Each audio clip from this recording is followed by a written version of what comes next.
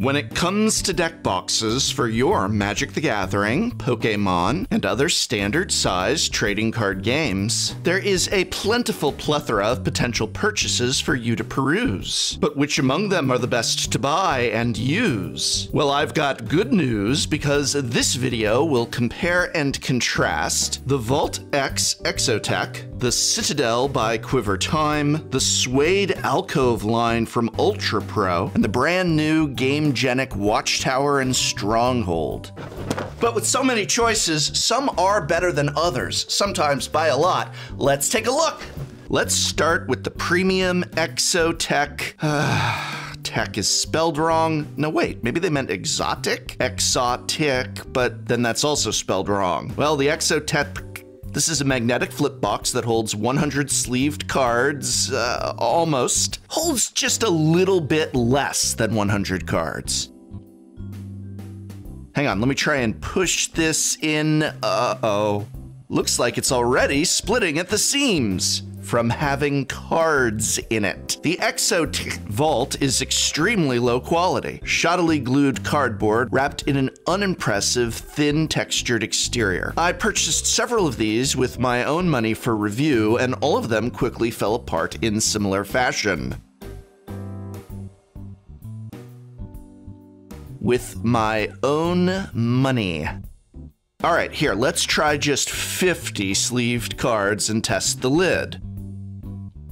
It fails. N not just the shake test, it just fails outright. Price is $19.99 each my own money. Let's actually begin with an actual deck box. The Citadel is Quiver Time's first foray into individual deck boxes. And, well, there's a lot to like about it, but let's start with one thing I dislike the utterly unnecessary elastic loop. So I think I see the thought process here. Just put an elastic loop around the deck box and it's never going to pop open.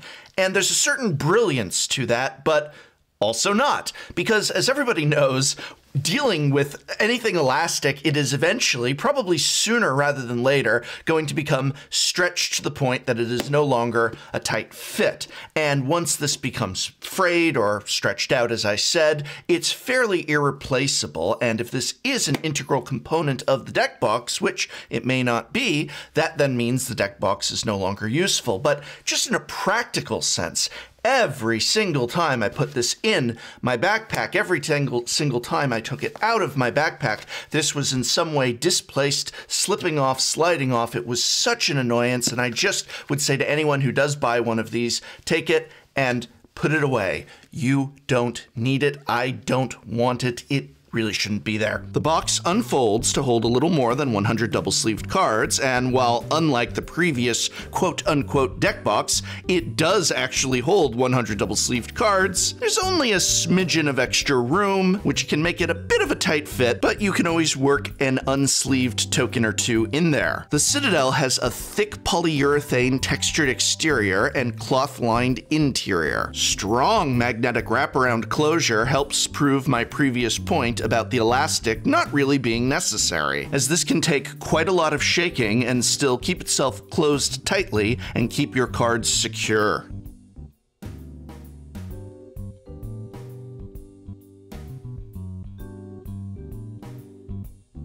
Unfortunately, the exterior of mine had a lot of early issues with peeling and fraying around the corners and edges. What was particularly frustrating about this is that overall, I would say the structure and integrity of the box is actually quite high. It just gets scuffed up, frayed looking, especially around the edges easily, but the overall sturdiness is really good. I also like that the exterior is 100% held on by magnets, meaning that if you want, you can remove it entirely. This means there's no weak spots for the lid to become un unglued, and I think that too will add to the longevity of the box. Interior is thick, sturdy, with slots for easy deck access, and an interesting frosted side window design. So I'm overall mixed on this deck box. Many pros, such as that super sturdy lid, thick and durable construction, and I really like the removable exterior wrap. The elastic is an irritant, and while overall structure is strong, the materials themselves, fraying and otherwise just looking kind of run down, especially along the edges, certainly isn't a plus. Price is 19 pounds, which which comes to just about $23.95 USD. I see potential here, but that also means it isn't all the way there yet. Grade is a C+.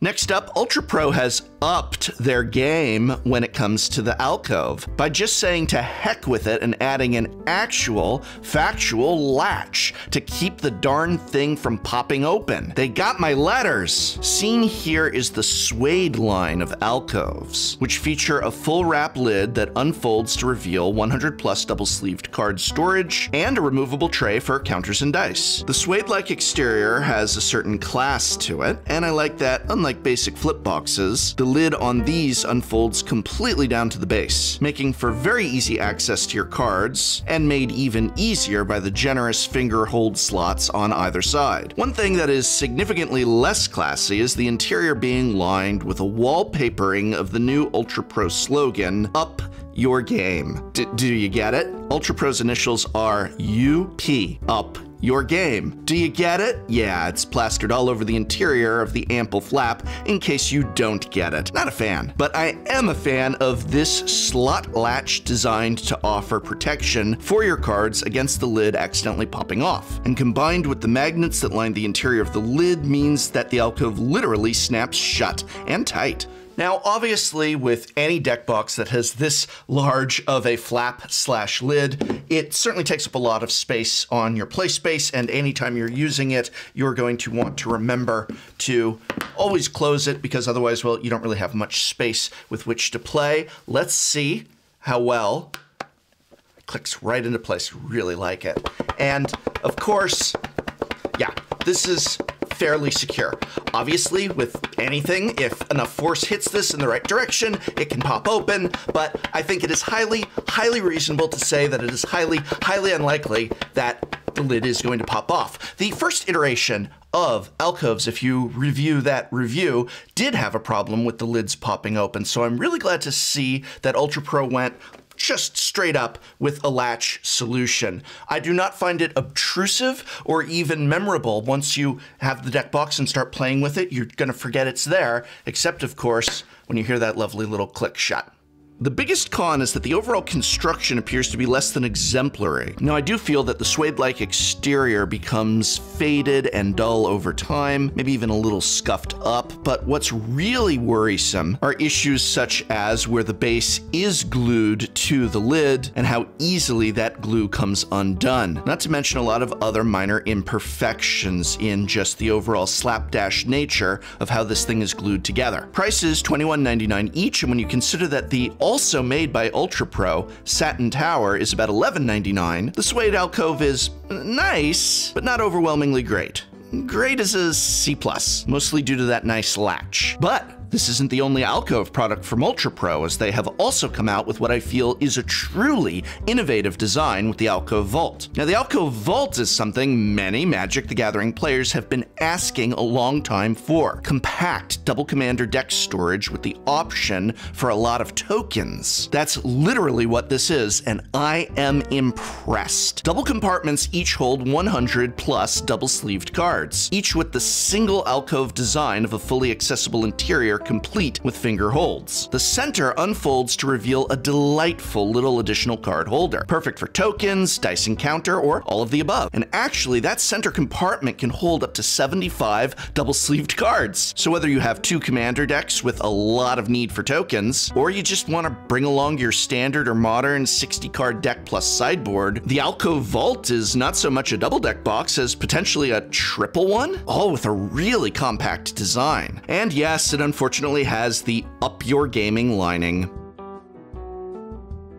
Now, I do have a few issues with that middle compartment, namely that the lid does not securely open or close, it just kind of flops there. Never fully closed, never fully open. I'd love to see a snapshot flap or magnetic strip perhaps, or anything that will be a little more elegant than the current flop. Also, the compartment is somewhat awkward in sliding in and out. It's a little too tight, it's a little misaligned, and I wish, again, that this just smoothly slid and clicked together. The suede version, and by the way, there are apparently other material styles coming soon, but the suede version has the same imperfections of assembly as the alcove. See all these little bumps in the gluing, little misalignments that make this an awkward sight, despite the great compactness and really brilliant design.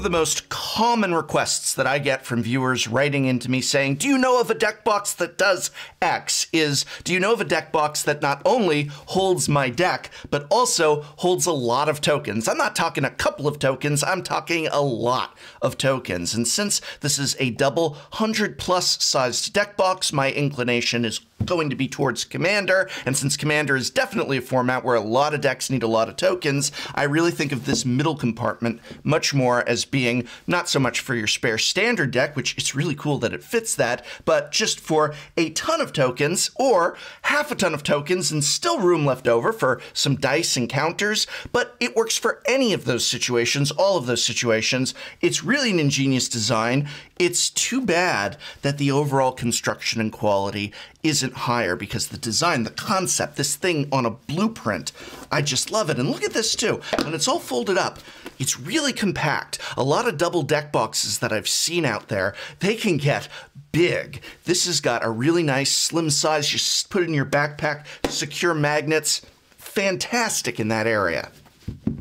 Price on the Suede Alcove Vault is $36.99, and there's just so much I love about it. Grade is an optimistic B+. There's almost no comparable product to this, stay tuned for a moment, and that goes a long way. Hopefully, in another iteration or two, we can revisit and see something great turn into something excellent. Speaking of new and innovative, the newly launched GameGenic line of deck boxes are looking to shake up the market. And as a deck box shaker myself, I must say I love what they have brought us. The convertible watchtower combines deck box, accessories drawer, and card holder in one elegant overall box, and it does so with innovative, completely removable flaps. GameGenic watchtowers hold 100 double-sleeved cards with a removable tray for counter and dice. But I want to really focus on just how brilliant having fully removable magnetic flaps is. See, the flaps don't just come off and then go back on as the wraparound lid on the Citadel did, but rather they are cut and designed to come off and reattach to the back, allowing you to sit and play with your deck and have access to your dice without attached flaps protruding, sticking out, or otherwise getting in your way. The thought and care put into the design of these is really evident. Small handhold access is built into not only the flaps, but also the removable trays and compartments, meaning you'll never struggle to get a grip on any component. Materials are top quality and also really well assembled. There's no bumps or poor gluemanship here. The faux suede of the Ultra Pro line was far from impressive, dingy and slapdashed together as I said, but the materials used here, uh, oh goodness, they're calling it NexoFyber. Look at how they spell it. It hurts. Fiber with a Y? All right, well, whatever the heck it really is, it looks and feels great while offering a great non-slip grip surface and cush microfiber interior. Microfiber with an I in fiber, by the way. I've reviewed a lot of deck boxes over the years, and a lot of them I've given A's to. But one thing that is a consistent issue is that even in some of the best of those deck boxes, when they unfold in order for you to access those decks, they take up a lot of play space. Even something as simple as this with a non-detachable flap, well, you've always got to close it up, right? Because you're not going you're not going to just have this on your play space like this. So you always got to close it up. What if you need the dice, whatever. And what I love about this is that the magnets aren't a gimmick. They're a real innovation. Instead of having this flap, which by the way becomes susceptible to wear and tear over the years, because yes, it is just glue and thread put together, you just take the magnets off and then reattach the flap on the back. Now, we don't know how magnets work, we just know that they work. And for those who were impressed with the Alcove Double, get ready for the GameGenic Stronghold. Two removable card holders for your two commander decks holding slightly over 200 double-sleeved cards, yet this double deck box has an elegant and compact overall design. The Stronghold also has the same fantastic, completely removable and wrappable flaps. Powerful magnets ensure safe closure, and once again, the Stronghold features the very nice to look at, very nice to feel, but not very nicely spelled NexoFyber material.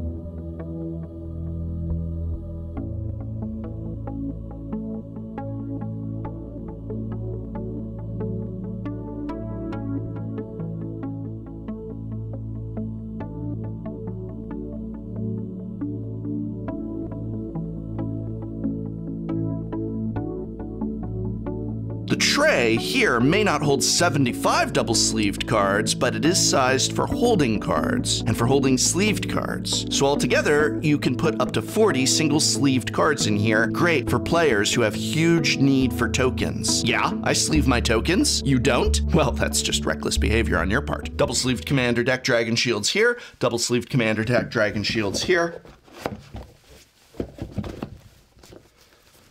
Magnetic flap A,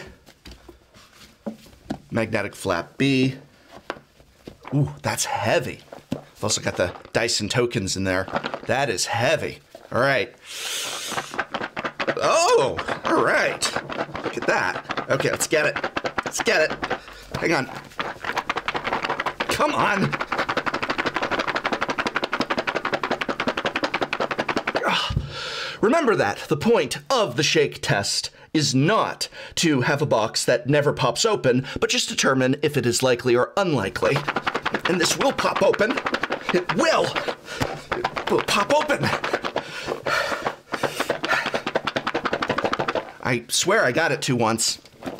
I do think that it is fair to say that it is highly, highly unlikely that this will open up on you unexpectedly, which is good protection for your decks. Pros are numerous. Fully removable flaps that attach to the back make for honest to goodness more effective gameplay space, as well as adding to the longevity of the product. Mixing and matching colors is fun, and the non-slip grip of the tough exterior pairs perfectly with fine microfiber interior lining. Grooves for finger holds on everything from the flaps to the compartments, and a token-sized tray for the watchtower, expertly designed with grooves for finger holds on everything from the flaps to the compartments, and of course that token-sized tray tray for the watchtower. Overall, I could not in my testing really find a single con. Grade here is a solid, enthusiastic A, and this is perhaps my new favorite premium deck box. It's certainly one of the very top on the market today.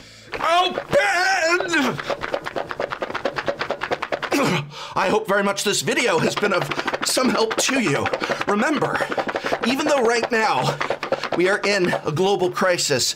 Many local game stores are still doing business through deliveries, through curbside pickups, through other means. So check on social media with your local game store and see if they are offering delivery or pickup options that can be done safely so that you can get the products you need that meet your needs. If this video has been helpful to you, you can help me out by remembering to like, share, subscribe, and please, please, please, please, please, by sharing with a friend.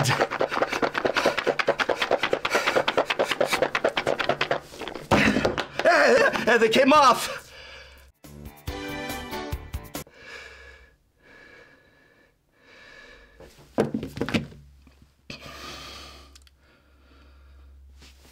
Card cards are still in, but completely honest with you here. one of my deep fears as a lover of the local game store is that this pandemic might just be a, a point where in a lot of the, the meetings, the answer is, well, let's just put all of our attention, all of our effort uh, post pandemic into digital. Like this, this is digital all in or nothing. You're saying that the local game stores are still a big, important part of this equation and a part of recovery efforts? Oh, absolutely. I mean, let me say this. I know there's this fear out there that somehow we're just going to make Magic a digital game and just get rid of tabletop. Like, like I, I, think there's this fear that we're going to like phase out tabletop over time or something. Yes, huge fear. And what I, I mean, what? So number one, tabletop is an organic main way of magic. It, it, currently, right now, I mean, not during the pandemic, but normally we make more money off tabletop magic than anything else.